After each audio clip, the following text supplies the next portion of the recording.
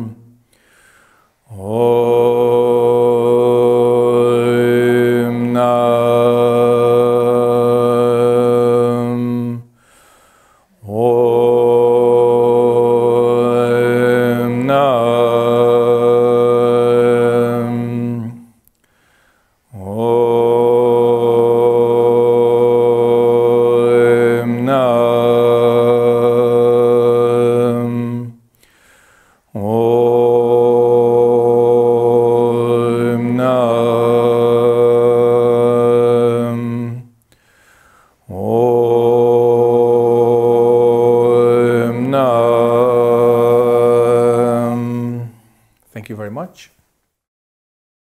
Today we start with something unusual. I will read something out to you. Usually I don't do reading. But now I want to quote a Kongan, which is actually a story from Shakyamuni Buddha's time. It's number five in our Kongan book called 208 Kongans. And it goes like this Dharma transmission. One morning, the Buddha sat in front of the pagoda of many children.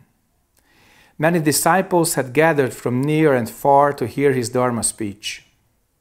Everyone waited for him to begin, but the Buddha did not open his mouth. In the front rows were the older students, including many venerable monks. The new monks and novices sat far away in the back. Mahakashyapa arrived and walked to the front in front of the Buddha. Though he was an old man, he had only recently become a monk, so everyone thought it was incorrect of him to walk in front of the Buddha. But when the Buddha saw him, he moved over and allowed Mahakashyapa to sit next to him on his cushion. Everyone was surprised and amazed. By this action, the Buddha was demonstrating the equality of Dharma nature. Second, the Buddha was at Vulture's Peak. Over a thousand disciples were assembled to hear him speak, but he did not open his mouth. After several minutes of silence, he held up a flower before the assembly. No one understood. Only Mahakashyapa smiled. Then the Buddha said, I transmit my true Dharma to you. 3. The Buddha died when he was 80 years old. In those days, people often lived to 100, so many of his disciples did a lot of checking. Why did the Buddha die? Why didn't he live longer? This is not fair. Furthermore, they could not begin the funeral ceremony without the Buddha's great disciple, Mahakashyapa. They anxiously waited seven days when finally Mahakashyapa arrived. The wood was stacked high for the funeral pyre, and on top was the gold coffin containing the Buddha's body. Perceiving that everyone was still sad and confused, Mahakashyapa bowed three times in front of the pyre, walked clockwise around it three times, and bowed in front of it three times. After the last bow, there was a big clap of thunder. The coffin broke open, and the Buddha's feet appeared. Everyone was very shocked and instantly realized this teaching. Only the Buddha's body had died, but the true Buddha never dies. Questions Mahakashyapa sat next to the Buddha. What does this mean? What is the equality of Dharma nature? Why did Mahakashyapa smile? What kind of Dharma was transmitted to him? The Buddha's feet broke through the coffin. What does this mean? Only the Buddha's body had died, but the true Buddha never dies. What does this mean? Commentary The Buddha and Mahakashyapa are good actors, but nobody understands their meaning. Only the Buddha and Mahakashyapa understand each other, so they are not good actors. If you have neither the Buddha nor Mahakashyapa, then everything is very clear. The sky is blue, the tree is green, water is flowing. You can see clearly, you can hear clearly. But the Buddha and Mahakashyapa take away all of their students' eyes, ears, noses, and mouths. This is a terrible job. If you attain this terrible job, then you are better than the Buddha and Mahakashyapa. How wonderful. Commentary by Zen Master Seung Sahn. So we heard three stories. And I can see in your faces the perplexion. What does this supposed to mean? I mean, we came here for a nice Buddhist Dharma speech, and this doesn't make any sense. Well, welcome to the realm of the Kongans. Welcome to that part of Zen which started with Bodhidharma a thousand years after Buddha Shakyamuni, who, to my mind, wrote the last sutras, the last prose. If you read Bodhidharma's teaching, the three sermons or the three Dharma speeches that were written down from him, it's very strong. In terms of Zen, there's no more prose after that. And what came with him was the Kongan practice, this interactive, dramatic practice, starting with his interaction with Emperor Wu. You know that. You've heard that, you've seen that, how Bodhidharma and Emperor Wu conversed. But this is rooted in Shakyamuni Buddha's stories with Mahakashyapa. Let's go back to the first.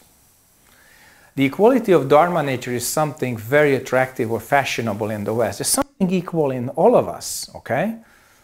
The French were fighting for it and they called it égalité. Didn't work so well.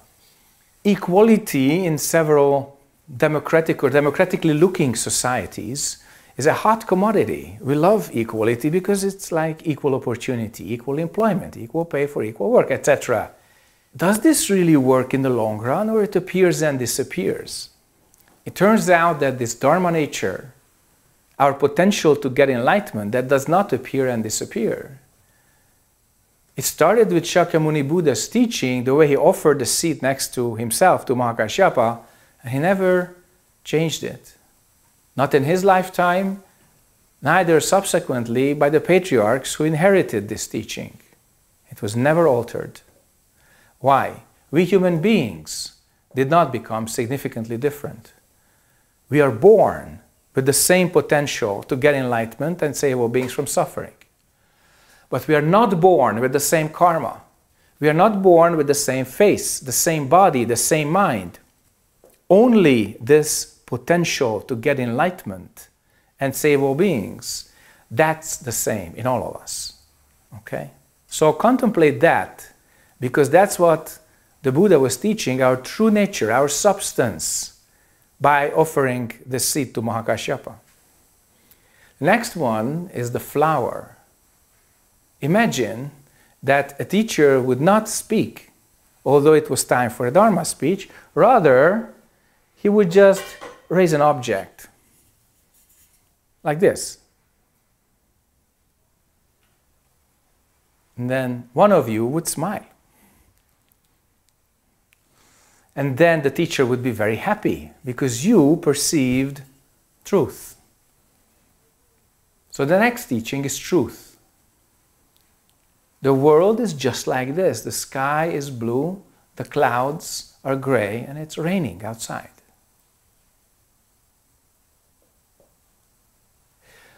So, what we see, what we hear, taste, smell, touch, think, feel, etc., is reflected in our substance, which is clear like space, clear like a mirror. Without the attainment of substance, there is no clear perception of truth. So the first story and the second story, they connect.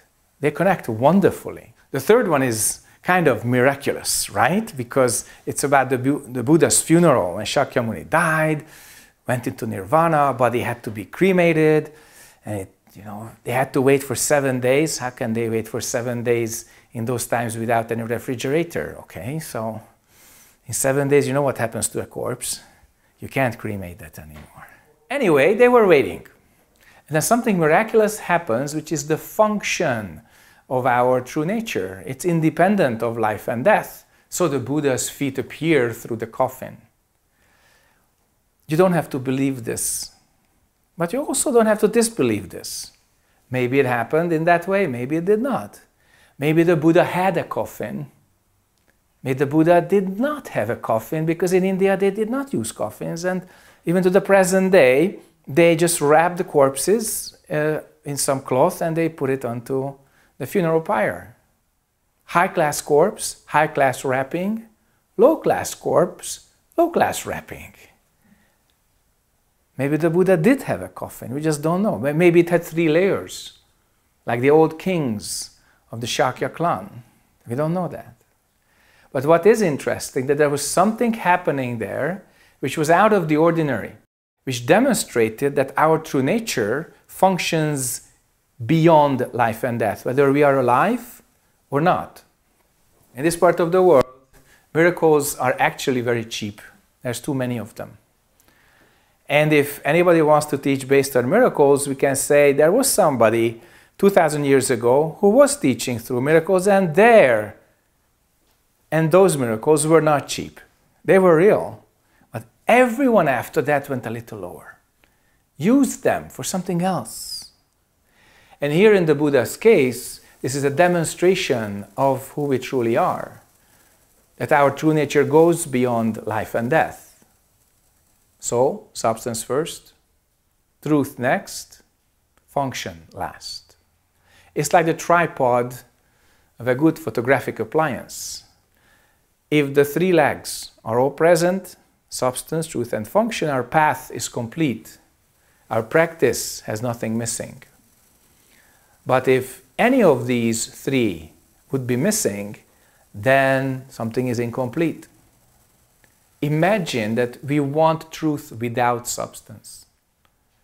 Then we mix our ideas with the truth because we never attained clarity. We never took away our illusions. And it wouldn't be clear truth, it would be mixed with illusions, mixed with misconceptions. Imagine that you would have function without truth. That's a machine. Machine has no perception. Machine has only settings. So if you're just a part of a very big mechanism, an establishment, a corporation, sometimes you feel like that nobody is interested in what you see, what you think, what your sense of the truth is. You are just expected to function for your salary. Then there is no truth. And sometimes it really darkens you inside. Sometimes it gives you a sense of uselessness and you are kept busy for good money between 9 to 5, sometimes even longer. So without substance and truth, function has no meaning. Function seems just a useless repetition of cycles one after the other for some interest. And getting back to just substance without truth and function, that is when you practice Zen for itself. You practice Zen for Zen. And people become attached to no name and no form, or just being secluded in a wonderful hermitage, and they're not interested in truth, what the world situation is actually. They're not interested in helping out, which would be correct function. They're just interested in the sweetness of experiencing our substance, our true nature again and again and again. So, this is an addiction to substance. And if we are just perceiving truth but we're not acting, then it's truth without function. It's also a very sorry state of mind. You see that there's dirt on the floor, but you don't clean it up. You see somebody suffering, but you're not helping.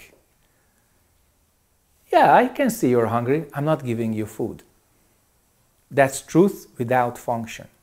So if you look at your life and you look at your karma, where do you experience insufficiency, imperfection, or any kind of suffering? And when you do, look at the cause. What causes that? And then you find that some or all of the three are not functioning together.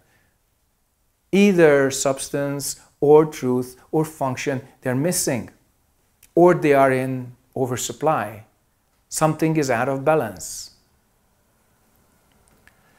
These kongans, although this is just a story, they are paradoxical. It's not logical because logic stopped with the sutras. In 1000 years after the Buddha, we became so clever based on his oral teaching that it stopped being a primary useful method. It's good as a background, it's wonderful as a set of practice experiences, stories, it's a wealth of knowledge. But as a primary means of practice, we needed something else.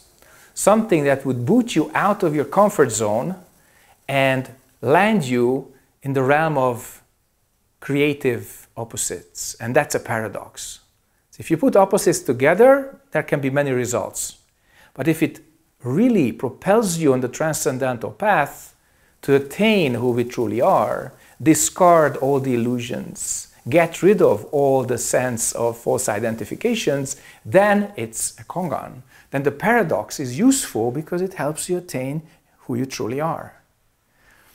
So, in this sense, the first paradox is really us, human beings.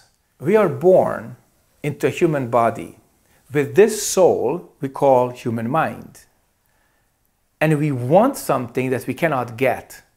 We want eternity but we are impermanent. We want complete freedom, but we are interdependent. And we are imperfect, yet we want perfection by all means. So when you look at that, we humans, we are the first paradox. We say I, but we don't understand really this I. We have all kinds of self image of ourselves and others, but do we really attain who we truly are? So we are the first paradox, and everything else is just a manifestation of this. So a Kongan is a public case when in China there used to be like imperial edicts and they were copied. And those times they copied them by hand. They put the original and the copy together and they put a seal overlapping both edges. And if there was any question later of the authenticity of the copy, they brought it back to the Imperial Library and they put the original and the copy together. And if the seal made a hole, it was considered authentic. So, just like that, if you have the question and the answer making a whole, a complete story, then your mind is authentic because you solved it correctly. So, just like that, the teacher's mind and the student mind make a complete unit because you attain the teacher's teaching. The kongans are used for that, and they are very, very useful. We call that the fasting of the mind. Fasting because you don't eat your usual food of thinking and feelings and judgments and many ideas of past, present, and future. No, no, no. The kongan is really making you fast. A little bit deprived of the usual food that you give to yourself. And that's why Zen will never be hugely popular. Because this is really not something juicy and sweet that you can chew on and digest and forever and it feels great. No. It sometimes feels horrible that you don't know the answer to the question. It makes you feel stupid and inferior and never ever getting anything meaningful, okay? And you go through your own hell to get out of that. And when you do, you are already different from the person that got started a few years ago. And if you practice intensively, the Konga is really like a scythe. They just shave off all the layers of these identities that you carry on and cherish, but you are not that. It's just your backpack. So Kongans are sharp. They're sometimes really wrecking you and breaking you apart. But that's what they were designed for. Why? Because in a Zen environment, you are allowed to make mistakes. In fact, you are invited to make mistakes in the interview room. That's what it is for. And those mistakes are pretty easy to correct. If you make real life mistakes, just one, sometimes it takes years to clean that up. And everybody in this room has lived long enough to know what I mean. One sentence, one signature, one action, one decision causes crises that last years. And you have to overcome that and become a different person in the process. So these kongans are these simulated crises. Cases where you can actually apply yourself and check your clarity. And if you make a mistake, it's no problem. Next day you go back and the teacher just receives you in the same way as before. And you can try again, try again, and try again. And outside in your life, nothing happens. Inside you, many things happen. You change. So kongans are fantastic because it really propels you to leave your comfort zone behind. We are a bunch of habits, a collection of habits. And if we lose those habits, we change our karma. We change our karma, there's a fair chance we can wake up in the process. So that's why Zen is so challenging, intriguing, sometimes frustrating, but eventually rewarding and very, very useful. But let me not say that unto you. Let you experience that yourself. Okay? Are there any questions, any kind? Um, at which age we can start to teach our children the meditation practice? When they want to. Before that, play with them. The games are instrumental learning. And if you're a Zen practitioner, you know what kind of games to choose.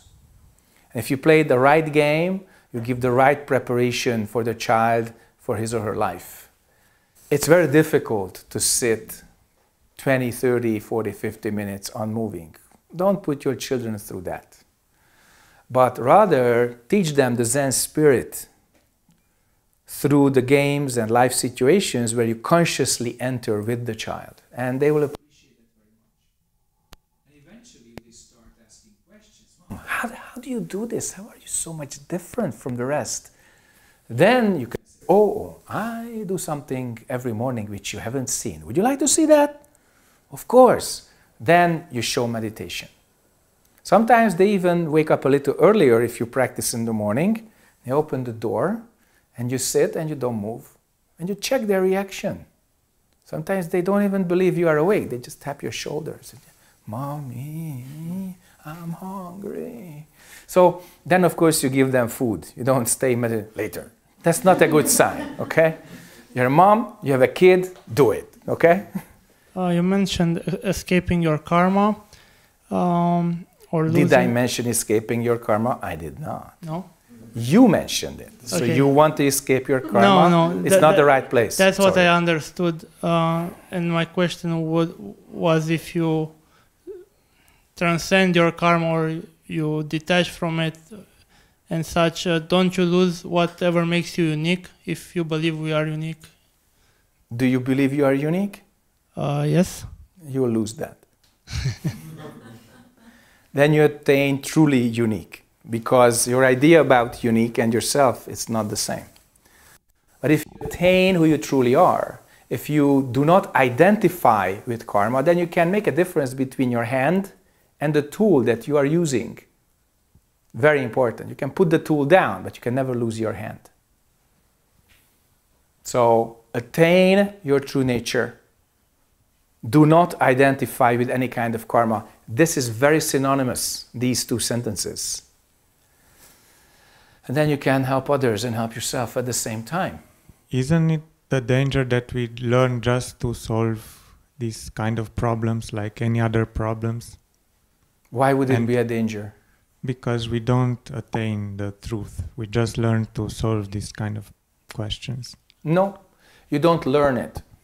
We don't tell you how to do it. We tell you how to practice clarity, how to attain your true self. And that will solve the kongans. We don't help you with that. We check your solutions. So we can't find an algorithm No, you cannot problems? find an algorithm. And if you find it, then give it to me.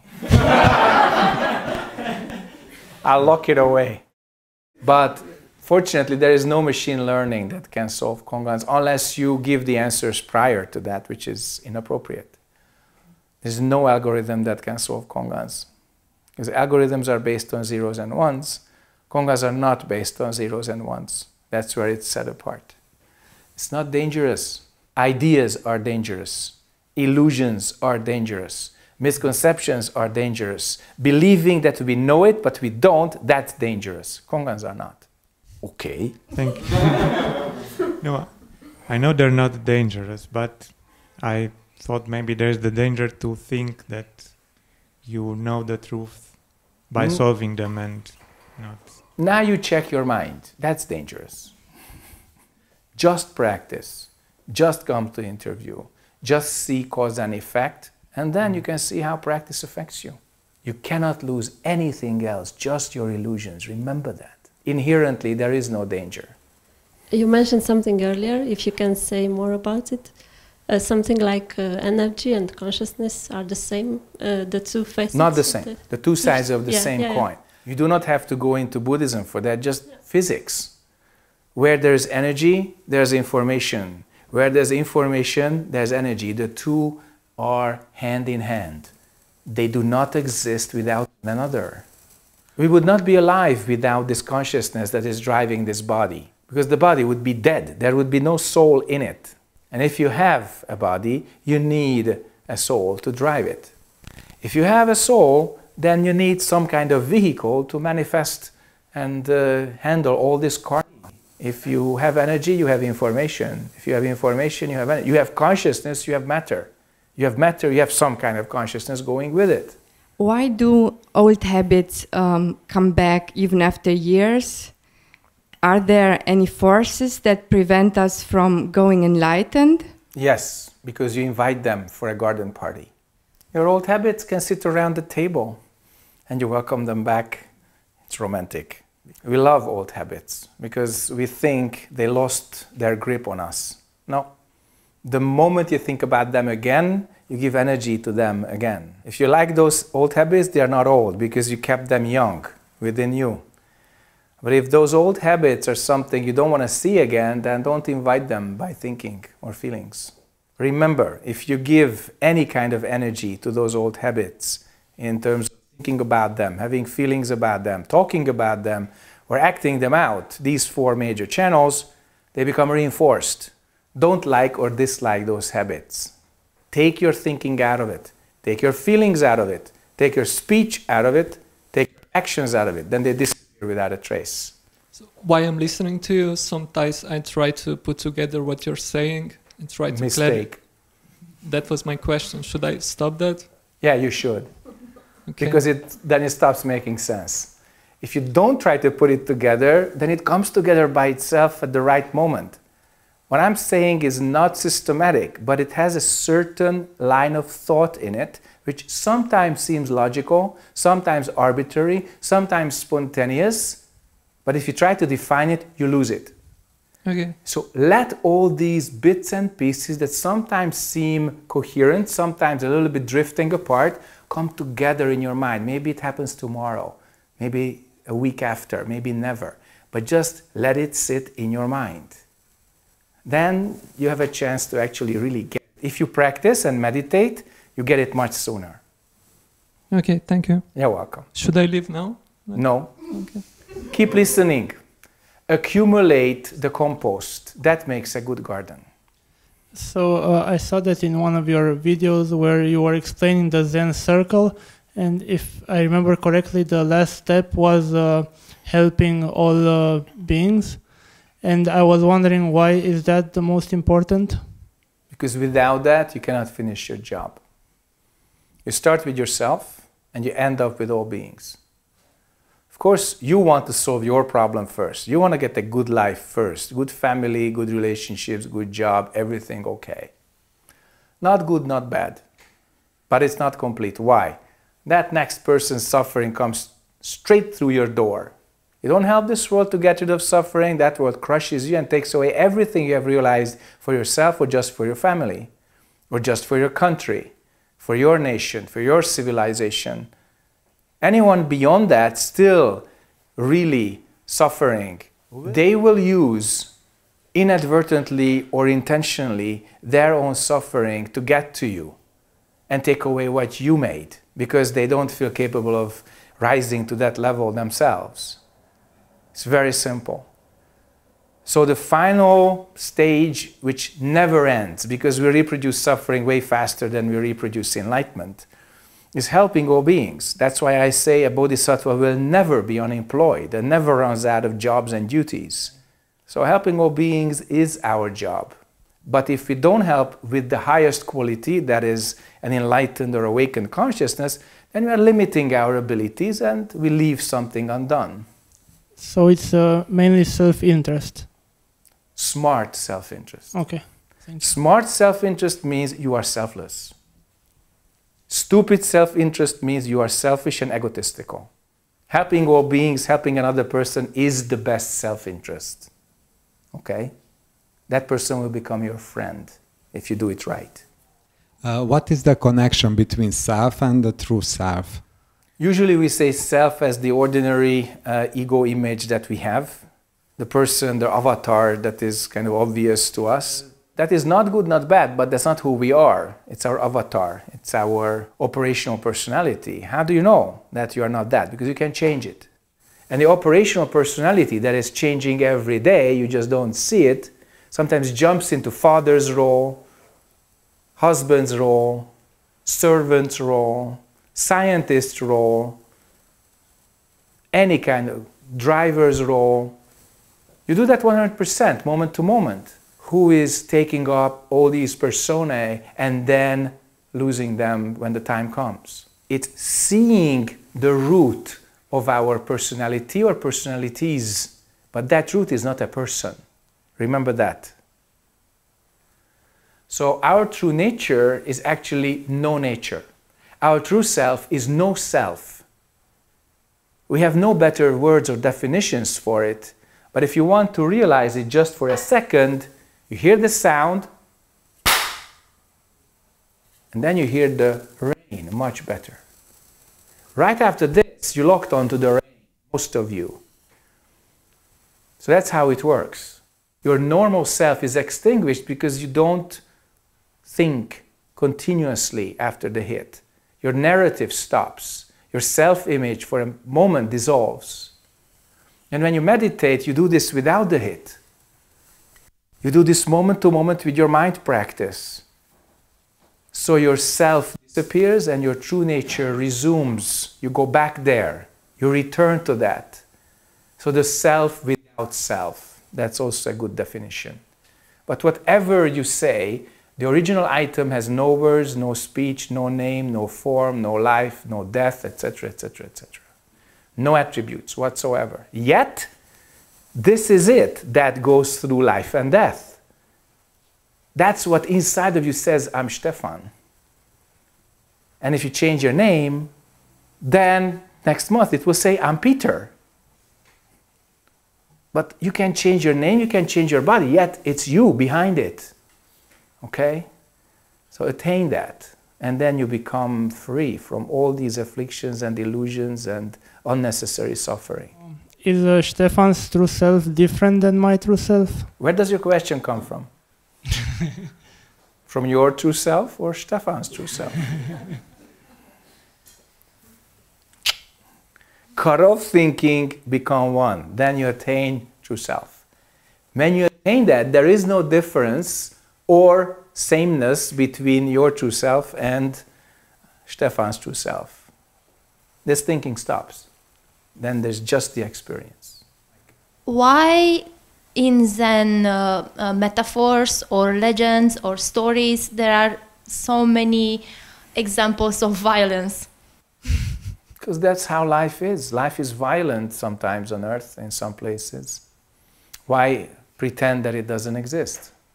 Sometimes it's also very happy. I can read you very happy stories from here because at times and places life is very happy and free from violence. But to deny that would be a gross error. What is bigger problem, uh, desire or illusions? Is your desire based on illusion? Well, uh, Then it's a problem. no, it's not actually. Good for you. then fulfilling that desire does not cause any suffering. For instance, you know you're hungry, you desire food, you eat it, not more and not less than you need, not worse and not better than you need. Desire, check, fulfilled, you're happy. But if desire is based on illusion, maybe I need a red Ferrari. you work your butt off to gather $285,000 and then you buy your red Ferrari, you're still not happy. Damn. So that means desire based on illusion. Check it out. Look at cause and effect. Sometimes it's so childish the way we think about life. So much, you know, in this idea. So maybe I'll be happy if I get this, this, this. Maybe I'll feel better if I meet this and that person. I can say I was with him or her and I met, we shook hands and said, Hello. Correct spiritual practice can bring you inner fulfillment. This fulfillment is attainment. This attainment brings you freedom and responsibility together. How can we deal with emotional pain, like feeling small or rejected or With a hammer. how? Emotion and pain happen, boom! Then what happens? Even bigger pain appears. You hit pain, becomes bigger. You burn emotion, becomes stronger. So see where emotions and pain come from. It's interesting you lined up the two together. Are they parallel for you? Emotions and pain? So how can you experience emotion without pain? Can you experience pain without emotions? No. Yes, you can. Go to the dentist.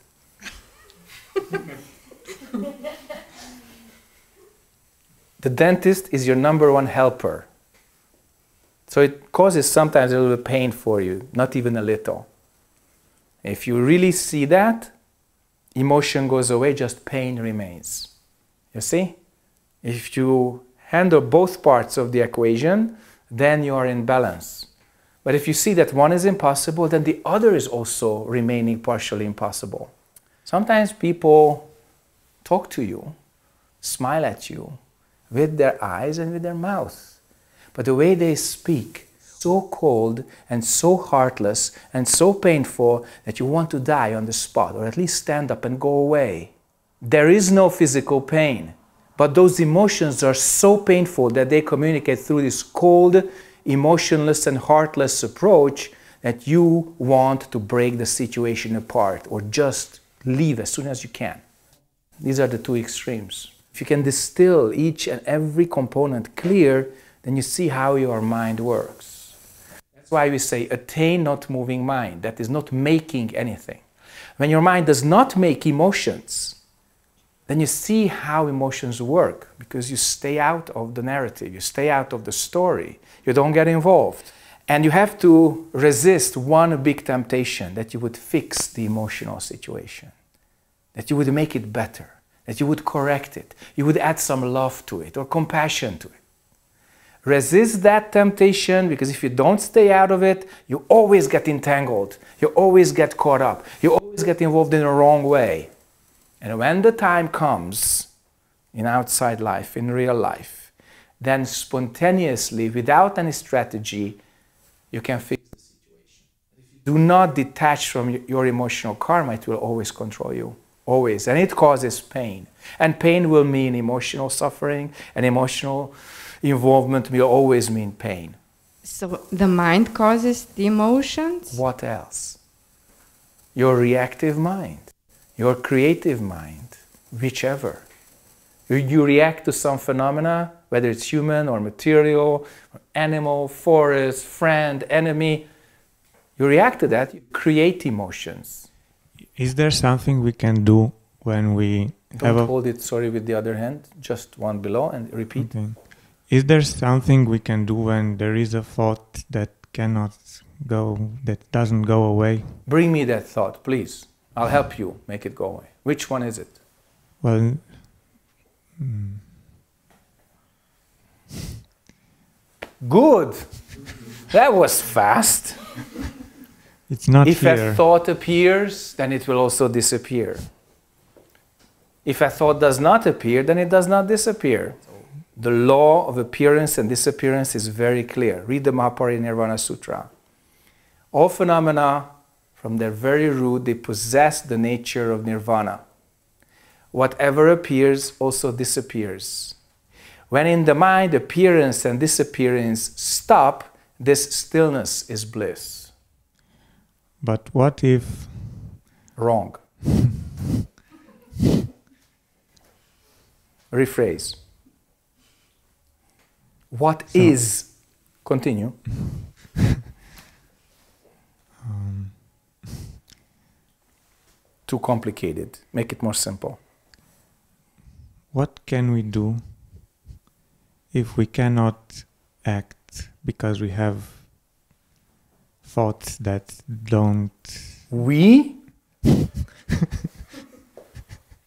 I think it happens to everybody. Speak for yourself. Make the question real. That's why I'm working with you. I trust that you will make it real and not hide behind generalizations. Oh. Mm, What can what can I do? That's better. That's the student's mind. Resilience, confidence. Go ahead. when uh, I stay too long thinking of something and I Immediately find something to do and hopefully not for yourself. Take out the garbage. Then take out the neighbor's garbage. thank you. You're welcome. Next. oh, yeah. You open mouth, follow up. Go No, ahead. But, but it was like, like What if you want to sleep? yeah. Then sleep. No, but you cannot sleep if you have all these thoughts. Like these thoughts don't let you sleep. That's of what- course. I mean, 200 bows, 2,000 Kwan Seum Bosals, and a shower. You'll sleep like a baby. you don't want it? Sorry. you asked me what to do with thoughts that don't let you sleep. Here's the recipe. I cannot take it for doesn't you. work. Did you try? Have you ever done 200 bows a day? 2,000 Kwan Seum Bosals? Never? Here's your chance. Okay. All right. I sincerely wish to appreciate your wonderful presence and attention tonight, the generosity uh, and hospitality of our hosts.